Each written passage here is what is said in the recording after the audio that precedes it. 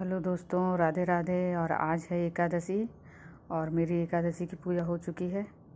और आज हमें सौभाग्य से बालाजी की शादी देखने को मिली। मतलब बालाजी का मंदिर चार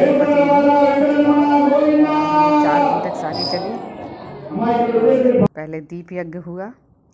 फिर ये देखिए, भगवान दोनों माताओं के साथ बैठे हुए हैं। और ये मंगलसूत्र।